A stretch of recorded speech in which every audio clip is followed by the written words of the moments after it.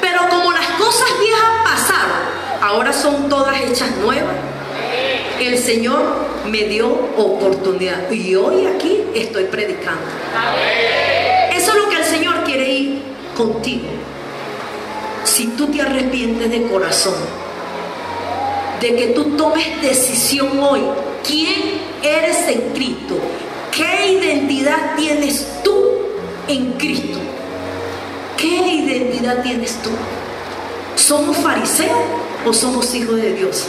Hay personas que dicen, no, pastora, yo alguna vez ando con cristianos y, los, y los, la gente del mundo se comporta mejor que la gente cristiana.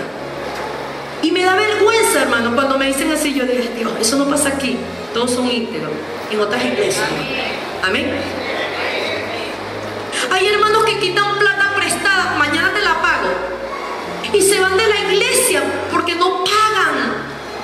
se queda el nuevo creyente esperando y se convierte en nuevo creyente.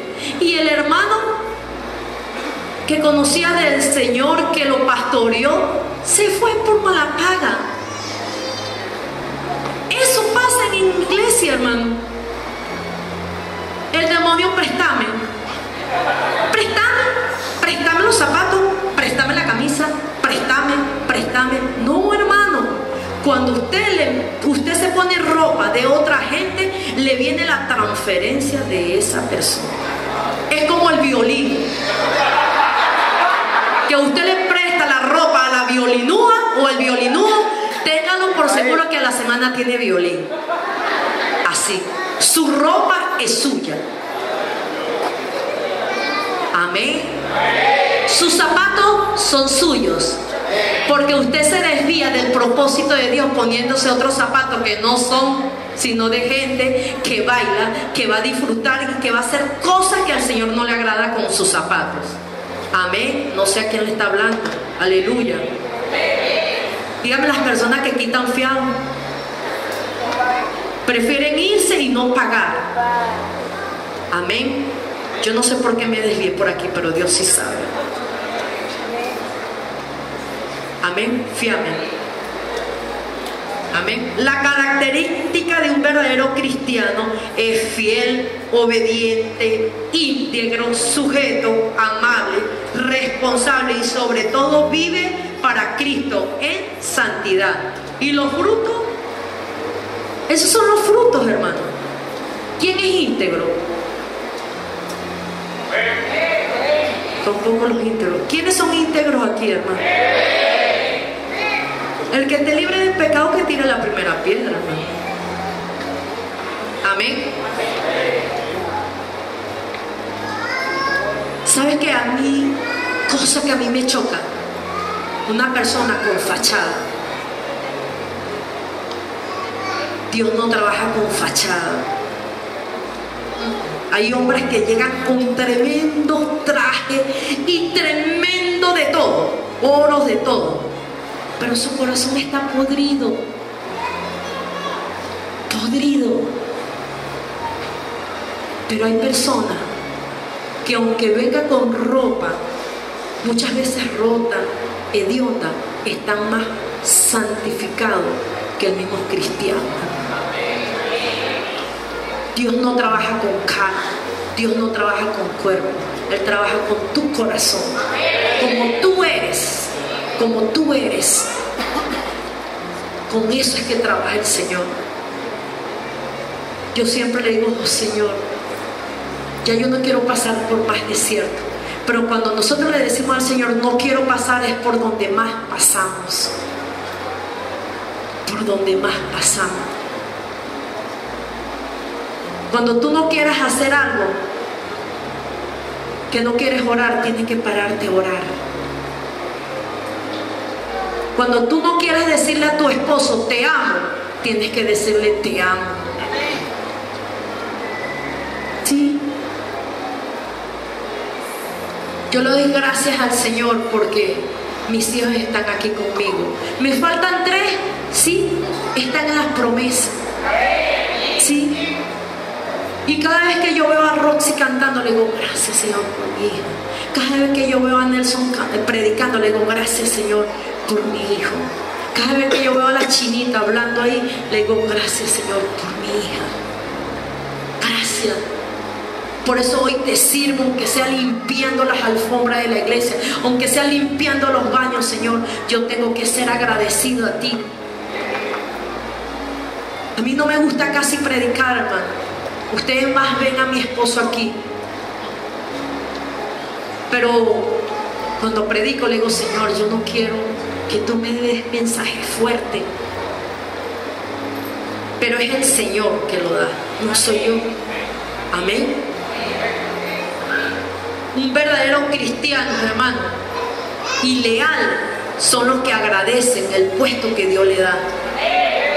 Son los que agradecen. Yo siempre le digo, Señor, si todavía hay iniquidad en mí, quítamela, Señor. Desarraiga toda esa iniquidad que yo heredé de mi papá. Ya iba y yo cancelo y anulo y revoco porque ya yo llevaba ocho niños, imagínense, y tres abortos. Y no era feliz. Pensaba ser feliz. Hay hombre que piensa ser feliz, que acuesta porque se toma una cerveza y se acuesta con es feliz. Pues déjame decirte, es infeliz. Porque el único que te llena el vacío es Dios. La única que te llena el vacío es Dios se acuestan con otros hombres. ¿Qué deleite tienes de acostarte con otro hombre que tienes a tu esposo a tu lado? ¿Qué hay ahí? ¿Qué hay? Suciedad, inmoralidad sexual. No te conformas con tu esposo o con tu esposa. Son deseos de la carne. Por eso tenemos que quebrantar esa carne y decirle, oh Señor, yo quebranto y anulo toda cosa inmunda que viene a mi vida, a mi mente y a mi corazón. Amén. Cuando esos ataques llegan, tú tienes que cancelarlo, anularlo.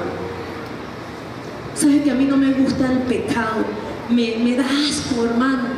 Aquellas personas que cometen eso. Y le digo, Señor, si uno se siente así, ¿cómo te sentirás tú, Señor? Y sabes qué fuerte ver a las personas con una cara levantada como si fuera una gran cosa que hizo, hermano. ¿Ah? No tienen dignidad de manchar algo tan sagrado que es la palabra del Señor. ¿Ah? Eso es fuerte, hermano. Pero tenemos que quebrantar eso. Decir, yo muero hoy. Yo tengo que morir esos sacrificios, esas iniquidades que heredé. Por eso que hay pueblos de Dios que perecen, hermano, por falta de conocimiento, pero tienen más conocimiento que un nuevo creyente. Y eso no le agrada al Señor. Cada vez que yo tengo problemas con mi matrimonio, voy y le digo al pastor, pastor, ministra. Pero no son garrafales. Pero le digo, pastor, mi carácter, es mi carácter. Muchas mujeres hoy en día no reconocen sino que le echamos la culpa a nuestros esposos, porque mi esposo me descuidó, porque mi esposo me hizo esto, porque mi esposo me hizo esto. No, es por la naturaleza de uno que todavía no has quebrantado. Amén. Que ser una mujer sabia, sujeta. ¿Cuántas mujeres sujetas están aquí? Ya hay pocos amén. Hay más mujeres que hombres y son pocos amén. ¿Cuántas mujeres hay aquí? Ya son pocas. ¿Cuántas princesas de Dios hay aquí? Que van a aprender a honrar a sus esposos.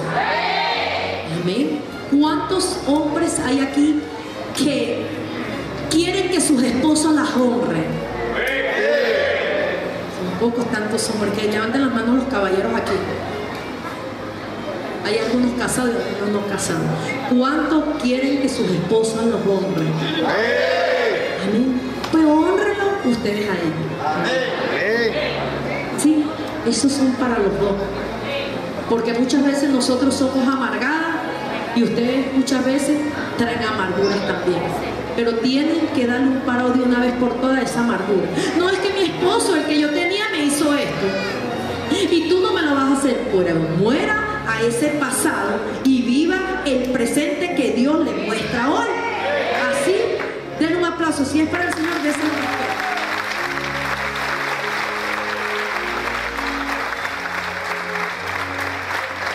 Yo siempre le decía a mi esposo, le decía, es que mi primer esposo me hizo esto que me provoca es darte a ti también. Siendo cristiana, hermano. Cristina, pues, poquito. Cristina, poquito. Mitad y hermano, para no echarle mucho palo. Y yo le zapateaba y le decía, ay, pero es que tú sí mandas. Ay, este hombrecito. Ujú y chocaba.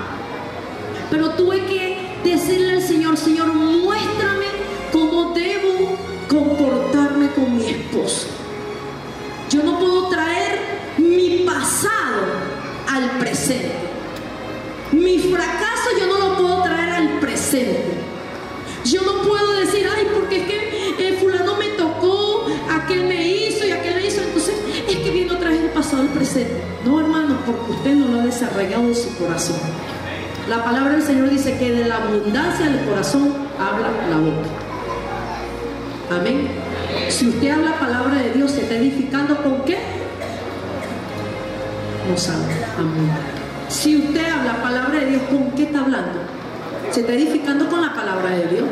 Pero si usted anda con alguien que no lo edifica, amigo, lamentándolo mucho, no puede. Yo tengo amigas que no conocen de Dios. Yo tengo amigas que anduvieron en la prostitución conmigo y en las drogas. Y me he sentado con ella a hablar. Me he sentado con ella a hablar.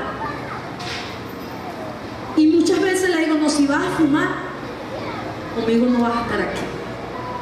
Usted sabe que yo soy cristiana y todo. Usted me invitó para esta fiestecita, pero lamentándolo mucho. Yo vengo a compartir un ratito contigo y me voy. Y ellas apagan el teléfono y, botan el cigarro y dejan el aguardiente a un lado y hablan el rato conmigo. Porque usted tiene autoridad. Usted tiene que decir no. Si usted va a hablar conmigo, si yo, usted me invita para una fiesta, usted me tiene que dedicar un poquito a mí y después yo me voy. Porque es usted que marca la diferencia. Si un hombre viene a conquistar en un momento, yo tengo mi esposa. No, yo conozco de la palabra. Y empezar a decir, te reprendo espíritu inmundo. Pero si usted empieza a coquetear, ahí el enemigo se le va a meter en su matrimonio, en su casa y en sus hijos. ¿Por qué muchas veces los hijos de nosotros son amanerados? ¿Por qué las hijas de uno todavía tienen las iniquidades? Porque nosotros no le hemos dado el parado a nuestras vidas de una vez por todas el pecado. Usted tiene que hablar duro a su familia. El pecado a Dios no le agrada. La palabra del Señor dice que Él ama al pecador, pero Él aborrece el pecado. Dios ama a aquel pecador. Dios me amaba a mí. Cuando yo consumía, cuando yo me acostaba con hombres que a Dios no le agradaba, pero Él me amaba. Pero cuando llegué a los pies del Señor me dijo, vete y no peques más. Vete y no peques más. Más vale no fuera conocido del Señor. Así te dice el Señor. Porque si tú lo conoces, tú tienes que ser un hombre valiente, una mujer valiente. Y si no lo conoces, pues vete y no peques más. Así. Pero hoy en día hay mujeres y hombres que se, se le atraviesa cualquier baboso o babosa y se acuestan hermano y pierden la bendición. Hermano, ¿por qué no está sirviendo? No, porque es que. Hermano, ¿por qué está sirviendo? No, porque es no es por la carne que usted no la ha querido sujetar. Amén.